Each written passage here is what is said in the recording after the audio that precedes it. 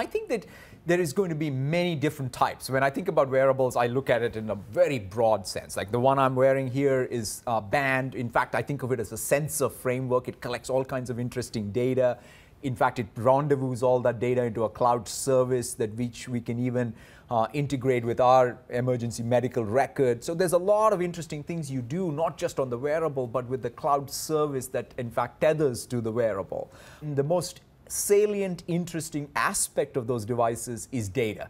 In other words, how can we add intelligence on top of the data that's being collected from all of these devices so that you as an individual can get more out of all of this computing power. You've just been talking to business executives. You're going to be continuing to do that. Do they feel confident enough about the economy to spend to get where they need to be in terms of making the most of that data out there? But the most interesting aspect uh, to me, I think, is the pace of innovation the need for change in terms of business transformation is such that you have to use technology. Mm. But then, of course, the question is can you empower the individuals within the organization? One of the services I talked about is this uh, tool that I use every day uh, at work called Delve. Um, it's kind of like the Facebook uh, news feed for work, where in fact I can see all the work that's happening inside of Microsoft. It's not an org chart view, it's a view of who's doing what. Uh, and it lights up based on what my uh, you know,